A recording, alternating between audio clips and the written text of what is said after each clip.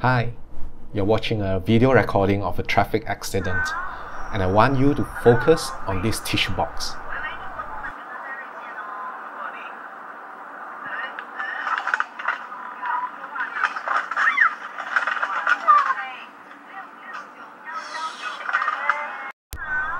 Okay, let's watch it again.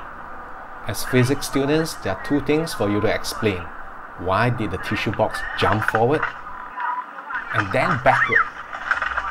Is there a mysterious force acting on the tissue box?